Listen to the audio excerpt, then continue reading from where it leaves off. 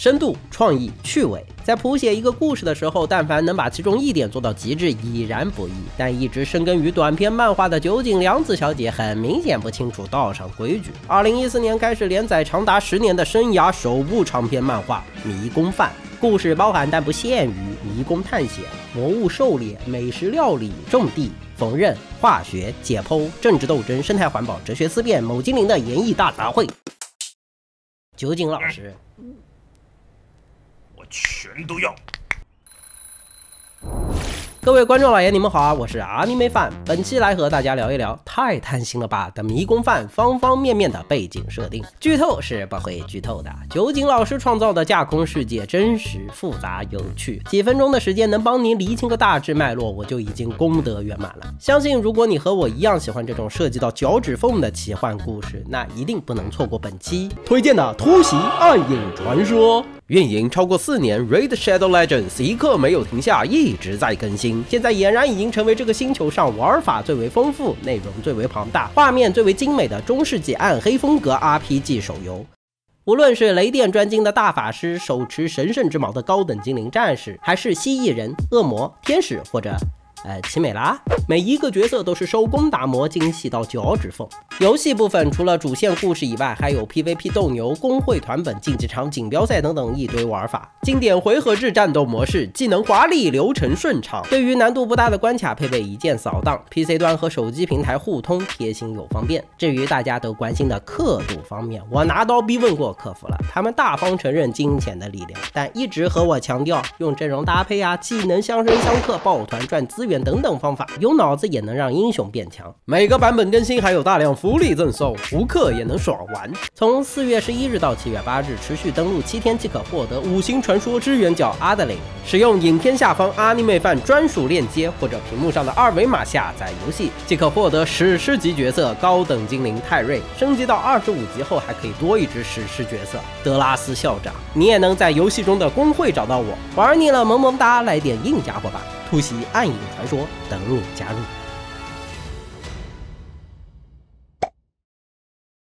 迷宫饭中的种族设定多取自魔界作者托尔金创立的世界观。目前在故事中登场的智慧生命有长生人、半生人、精灵、矮人、地精、巨魔、半兽人以及狗头人。由于长生人、半生人、精灵、矮人、地精、巨魔这六种的骨头数量一致，通称为人类；而半兽人和狗头人骨头数量与前者不同，而且人口总数差的很多啊，被称为亚人。虽然不同种族间从外貌、文化到寿命、生活习惯都有区别，但似乎不存在明显的生殖隔离。就是说啊，有心的话开一局都是 OK 的。本作主要迫害艾米欧莱斯主角团天赋异禀的强力魔法师马路西亚，他的母亲是精灵，而父亲是长生人，所以他就是 half elf 半精灵。比起纯血精灵，比较圆的长耳朵是混血种外貌上的主要特征。虽然因为出身经常被歧视，但科学研究表明混血比纯血精灵普遍优秀。还有一点就是混血精灵并没有生育能力。对此，欧莱斯评论道：“不就是骡子？” 另外值得一提的是，动画最近新加入主角团一行的丸包，并不是什么猫人。本来是长生人的他，小时候被黑魔法将其灵魂和野兽融合，成为了人工合成兽人。这个世界压根儿就没有猫人这种物种，所以它的存在非常稀有，特别是对一些有特别癖好的人群来说，有强大的吸引力。啊，当然其本人非常苦恼，一心想变回人类就是了。精灵、矮人、地精三种的平均寿命都超过两百，精灵甚至可以来到四百到五百岁，被归为长命种。对应的剩下五种则为短命种。无论长命种还是短命种，人类还是亚人，都发展出了自己独特的语言文化，智力层面没有绝对意义上的区别。想得来，巨魔也有聪明鬼，精灵中也有未开化的食人族。但放眼这个世界，显然长寿种的文明占据主导地位，历史涡流中心就是两大阵营：精灵 vs 矮人地精联盟的旷日持久的战争。同时，强势的长寿种文明也在极大程度上影响到了周围的短生种。比如人类会觉得貌如精灵的人很仙很美，而半神人则会认为强壮如矮人的存在非常有魅力。こんなもんだろ。戦士はいつもかっこいいよ。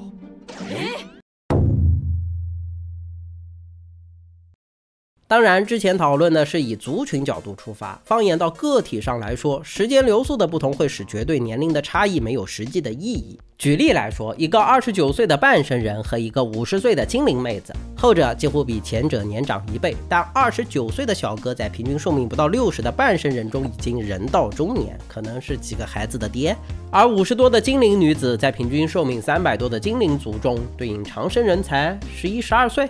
对，马路希尔尚未成年，真还是个孩子啊！所以缠他身子的列位可要想好了吧？长生种这儿是没有问题，精灵那边很可能是八十年以上的有奇。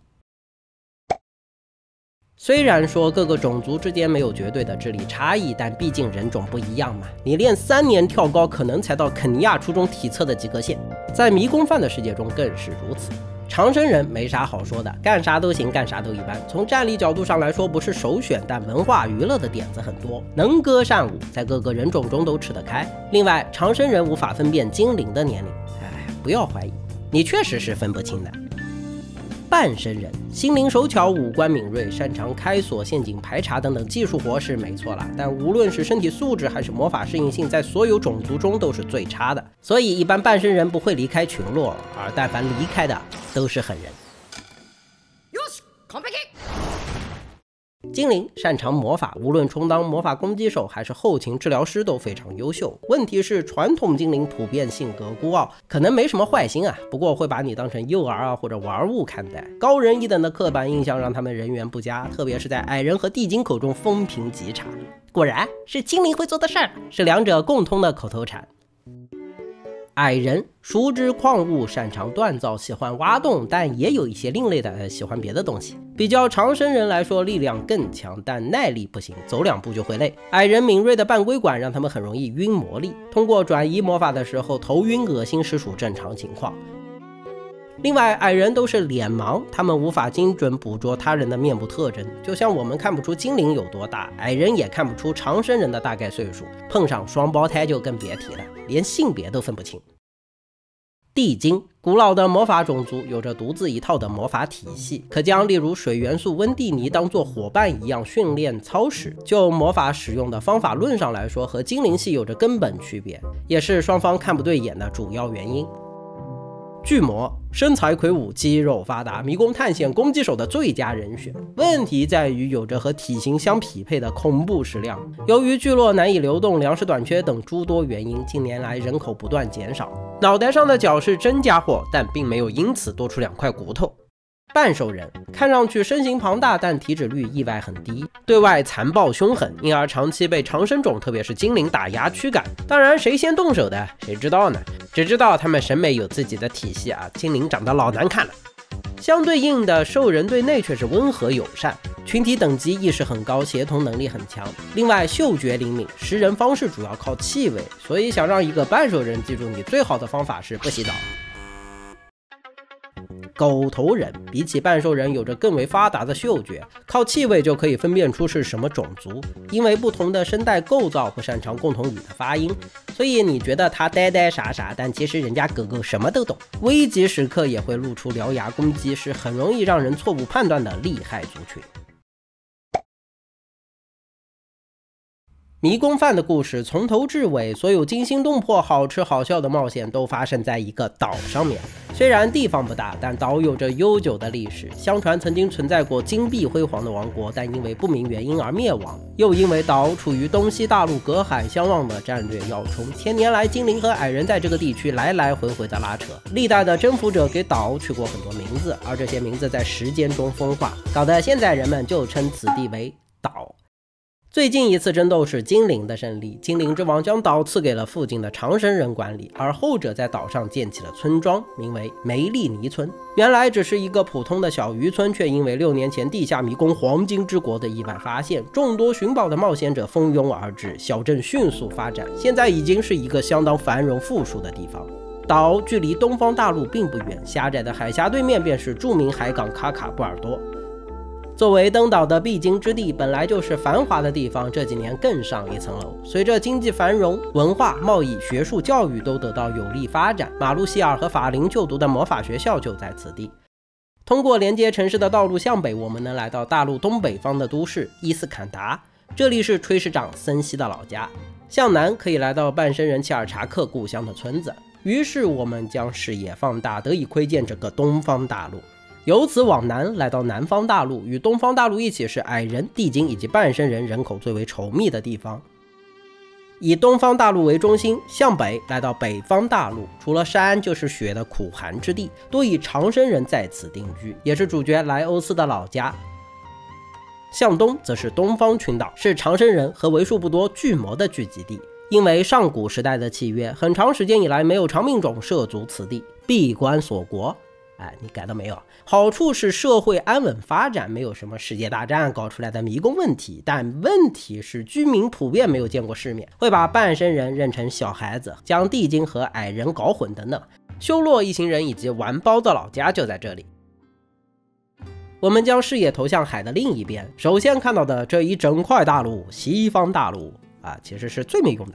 作为精灵和矮人大战的古战场，战争遗留下来的众多遗迹亦变成迷宫，成为了祸害周遭魔物的温床。虽然土地广袤，但宜居的地方出奇的少。人口主要以短命种的长生人和更加适应极端气候的亚人为主。喀布尔出生的迷宫都市乌塔亚和狗头人小黑的老家都在这里。而西方大陆以东两块以中央命名的大陆，没错，就是精灵的地盘了。其中北中央大陆有着全世界最大的精灵王国，精灵女王就在这里把长生种的影响力投射全世界。哎，说了这么大一圈，但绕回来，故事还只是发生在这只有放大才能看到的岛之上。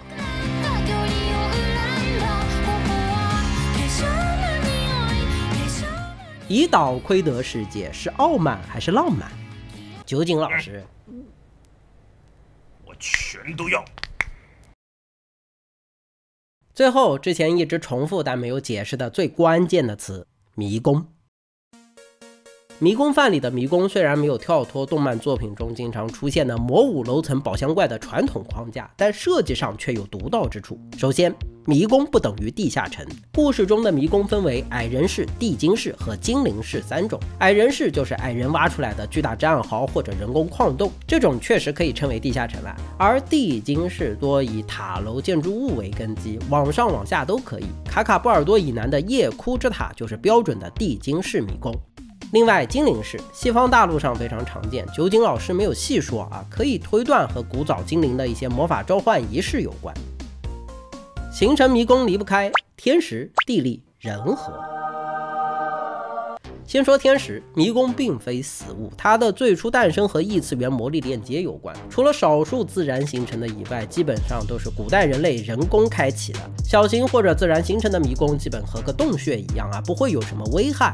但一旦机缘一到，被迷宫捕获的人成为了迷宫之主，他的欲望会催使迷宫迅速膨胀，并且个性生长。用比喻的话，迷宫之主类似于汽车钥匙，只有它转动，才能点燃引擎让车行驶。相反，如果核心丧失诉求或者心愿已了，打不着火了，迷宫自然也会停止生长，逐渐萎缩。这迷宫有了扩张的原动力，钥匙没有问题，下面就是燃料了。迷宫的成长需要大量魔力，那魔力怎么来？除了异空间带出来的，肯定还要本地化外送嘛。那么问题来了，如何让外部那些蕴含魔力的人类心甘情愿地往这钻呢？哎，这不就要搞点彩头不是吗？那么精灵和矮人大战的古战场遗迹就是最好的地利。为了搜刮这些遗迹中的金银财宝、古法秘籍，人们蜂拥而至，迷宫伺机而动，将他们的魔力化为餐食，滋养魔物，生成宝物，吸引下一波的顾客。而反过来说也一样，如果哪天因为啊路不好走啊，沿途没有好吃的小吃摊，旅店太贵等等诸多原因，人不来了，迷宫遭遇魔力流动性萎缩，都不用什么高手出手，迷宫天大的野心也会自然崩塌。而有趣的是啊，迷宫也懂得可持续发展的这个道理，所以但凡人流量跑起来的大型迷宫都会配有不老不死的诅咒。进入迷宫的人会自动被施予该诅咒，一旦离开就会解除，且只对人形的生物有效。中了术士后，即使肉体受到损伤挂了，灵魂也不会离开，只要治好伤，三十分钟后又是一条好汉。可见迷宫啊，不但是活的，而且非常聪明。对举着刀剑盾牌冲进来的人类没有敌意，还给你套个 buff。欢迎常来玩啊！另外，所有大型迷宫都有这样的特点，故事主舞台的黄金之国不是什么了不起的例外。冥冥之中也预示着，虽然四散各地形式不同，但迷宫们都有某种相通的根源。那具体是什么？它的目的又是什么？一切都在迷宫饭中。